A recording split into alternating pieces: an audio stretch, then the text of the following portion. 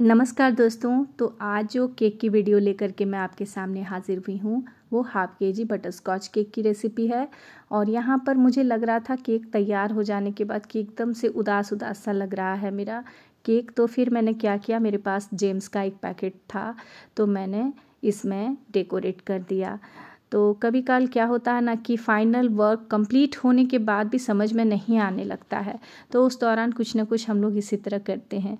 तो आप भी मेरी तरह घर में बैठकर केक बनाएँ और घर की बनी हुई चीज़ों का लाभ उठाएँ और घर के बने हुई चीज़ों का टेस्ट ही कुछ खास होता है दोस्तों। तो चलिए फटाफट शुरू करते हैं आज की इस वीडियो को और हम लोग सीखने वाले हैं कि घर बैठे कैसे हम लोग कोई भी फ्लेवर वाली केक तैयार कर सकते हैं। तो यहाँ हाफ़ के जी केक को तैयार करने के लिए मैंने स्पॉन्ज को कढ़ाई में बेक कर लिया था हमेशा की तरह और फिर से मैं इसकी जो लेयर कट करने वाली हूँ, वो थ्री लेयर में ही कट होगी क्योंकि होममेड स्पॉन्ज को काफ़ी पसंद किया जाता है। बेकरी से या फिर शॉप से लाई गई केक वो वो बात नहीं होती है जो घर की बनी हुई चीज़ों में होती है। तो यहाँ विपिंग क्रीम ली है मैंने 200 ग्राम। जब कभी आपको ख़ास काम करना हो केक के ऊपर, जैसे फ्लावर बनाना हो या एक्स्ट्रा डिज़ाइन तो उस समय आपको 200 ग्राम में नहीं होगा। 200 ग्राम से ज़्यादा लेना पड़ेगा। यानी कम से कम 250 ग्राम लग जाता है। और और अगर एज अ होम बेकर आप ये काम कर रहे हैं तो फिर आपके लिए मायने रखता है कि सब कुछ परफेक्ट मेज़रमेंट के साथ ही हम इसमें इस्तेमाल करें।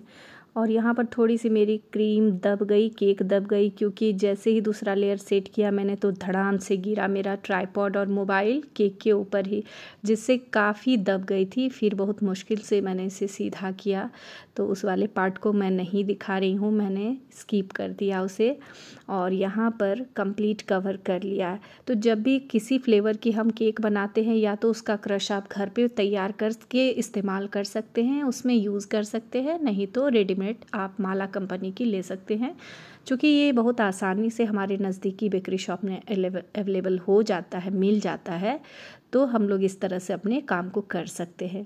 और घर की बनी हुई चीज़ जो होती है वो बहुत ख़ास होती है, क्योंकि कंप्लीट हाइजीन मेंटेन करके हम उसे तैयार करते हैं। और आज की इस केक के ऊपर हम लीफ नोज़ल से काम करेंगे तो लीफ नोज़ल का डिज़ाइन जो होता है वो बड़ा प्यारा लगता है। मुझे तो काफ़ी अच्छा लगा जब इसका इफ़ेक्ट निकल के आया, इस तरह से सिर्फ़ छोड़ते जाना है एक लीफ के ऊपर दूसरा लीफ को शॉर्टली तो इस तरह का हमें डिज़ाइन मिल जाएगा। तो यहाँ ऊपर वाले हिस्से में मैंने टेक्सचर इफ़ेक्ट दे दिया। मैं हमेशा यही काम करती हूँ। जब भी फिनिशिंग में कोई भी दिक्कत मुझे लगता है, गड़बड़ी हो रहा है, मैं प्रॉपर फिनिशिंग नहीं दे पा रही हूँ तो ये वाला काम आसानी से मैं कर लेती हूँ। और नीचे भी बची हुई क्रीम से ही मुझे काम करना है तो नीचे उतना इफ़ेक्ट थोड़ा सा अलग मैं दे रही हूँ। जैसे ऊपर में कंप्लीट मैंने काम किया, नीचे में थोड़ा सा डिफरेंस कर दिया। तो इस तरह से आज की मेरी ये हाफ़ के जी केक बन करके तैयार है, जो एकदम से आसान था। केक डिज़ाइन, आप भी इस तरह का आसान वाला डिज़ाइन घर पर ज़रूर ट्राई करें और इस तरह की चीज़ बनाकर अपने फैमिली मेंबर्स को सर्व करें। तो मिलती हूँ मैं नेक्स्ट वीडियो में, तब तक के लिए बाय